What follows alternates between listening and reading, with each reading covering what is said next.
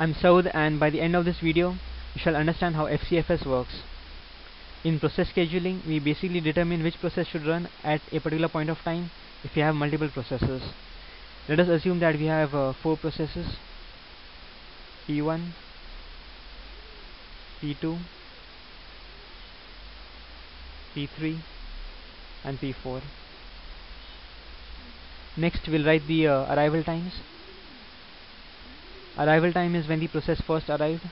Let's assume that it's 0 for P1 it's 1 for P2 2 for P3 and 3 for P4 the next thing we need is the burst time.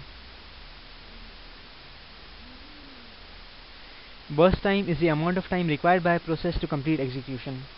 Let's assume that it is 4 for P1 3 for P2 2 for P3 and 3 for P4 we are assuming that our processor is capable of running just a single process at a time. So only one process will be allocated the CPU's time at uh, at any instant. So if you look at our uh, scheduling diagram process P1 arrived at time 0 process P2 arrived at time 1 P3 arrived at time 2 and P4 arrived at time 3 now in FCFS the process that comes first shall be served first so P1 will completely execute and it requires a burst time of 4 so we'll execute till uh, till this point of time. That's 1 2 3 and 4 and at this stage P1 completes its execution. P2 was the next to arrive. It arrived at time 1 but it will have to wait till P1 completes its execution. So this is where P2 will start. And it will go till uh, 3 burst times. It will be till 3 units of time. 1 2 and 3 and at this instant P2 will complete its execution. The next to arrive was P3. So P3 will start at this point and it'll go up till uh, 2 units of time.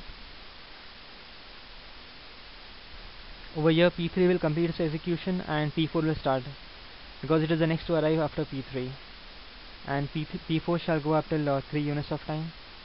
I need one more uh, one more line to indicate uh, time 12 that will indicate the beginning of time 12 so this is and this is where P4 will complete its execution.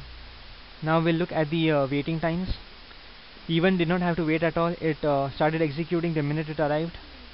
P2 had to wait for uh, 3 units of time.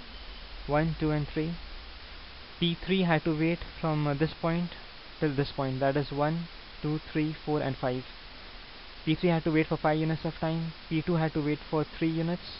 P1 did not have to wait at all and P4 had to wait from this point till this point. That is 1, 2, 3, 4, 5 and 6 so P4 had to wait for 6 units of time. In FCFS two things have to be taken care of. First is that before a process starts executing it should have arrived before that. And the next and the next thing is that the process that came before that process should have completed its execution. This was process scheduling using FCFS thank you very much for listening